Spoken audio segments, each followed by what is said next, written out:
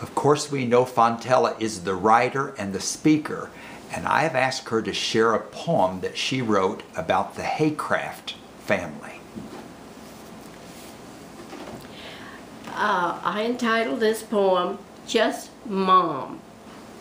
We all called her Mom, but you know, as she got grandchildren, that was more or less changed to Granny May. And I think everybody in Heyworth probably remembers Granny May because she worked at the school.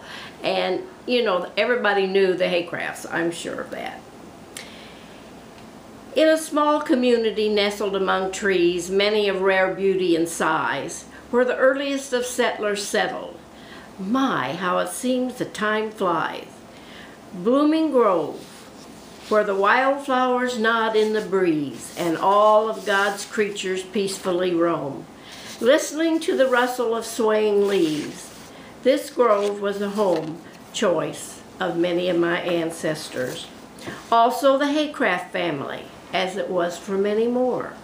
Here, Mom and Dad strived with the times. They reared six children they did so adore. And just down the road stood a little church, and everyone far and near would come to worship to hear God's word. The sanctuary was filled, never fear. A group of ladies from this stately church organized the Blooming Grove Ladies' Aid. And though the church is no longer there, these memories will never fade. Memories of basket dinners, delicious cakes and pies, Christmas programs, ice cream socials, all of this form loving ties. Mom Haycraft worked tirelessly in many ways, joined in fellowship, worshiped and prayed. The many lasting friendships, these are folks she'll never forget. Tis peaceful to sit back, rest, just reminisce a bit. This is her way of life and she still looks forward to each new day.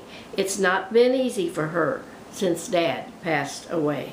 But as the days come and go and time marches on, she gives thanks each day for a bright new dawn.